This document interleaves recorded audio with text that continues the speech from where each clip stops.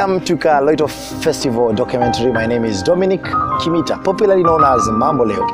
Uh, this year, according to the 2019 census, young people form 60% of Kenya's population. This shows the great need of having young people at critical decisions in the community. Kaloito Festival is one in a million platforms for engaging young people. Uh, young people in Kenya uh, need to be uh, part of the policy making platforms. They need to be uh, part of developing strategies on financial literacy. Young people should be in the forefront in uh, fighting drug and substance abuse. Young people should also take part in areas around uh, changing uh, uh, dynamics in climate change. That is what exactly Kaloito Festival is here for. Kaloito Festival is uh, uh, color coated and uh, sugar coated by issues around music, art, and theatre and beauty also. That is why this year in 2019 we had over 2,000 people taking part in this auspicious event. Over 2,000 people were engaged through online and physical intervention. Uh, this year only we had 45 artists taking part in this auspicious event. Uh, representing different air records in Loitoktok. Over uh, 45 uh, young people came from Entonet, from Ilasit, from Kimana, from Loitoktok town, from Ngama, and all the other areas in this great Loitoktok.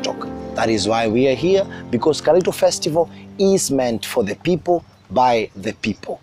First time in Loitoktok history, young people have never uh, come together for one special reason that is talent, information, education, fun, and progressiveness.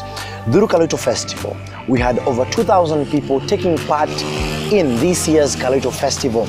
Over 45 artists from different locations in Kajiado South, in Loitoktok, took part in this specific uh, platform.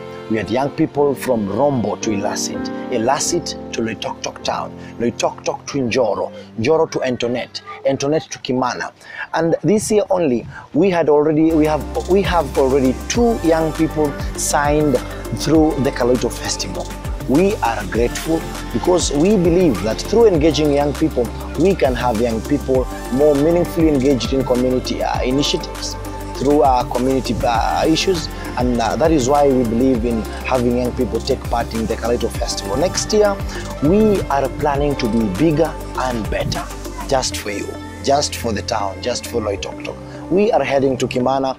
We are thinking of making it more inclusive, having more uh, uh, older young people, having more uh, parents on board, having more leaders, having more policymakers, because we believe that policy drives things in Kenya. Personally, want to thank everyone in a very, very special way. Everyone that found time to engage online and offline. Anyone who attended the function remotely or physically. Anyone who took part or participated in one way or the other in the Kaloito Festival 2019. You are our champion. I also want to thank uh, a lot of young people who took part in volunteering, in taking uh, pictures, in taking videos. I want to thank Gratu Media. I want to thank G Capture. I want to, to thank individuals who took part in this very, very special function uh, uh in one way or the other. I also want to thank uh, our uh, security team uh, who, who, took part also in making sure that things were outlined in a very, very special way.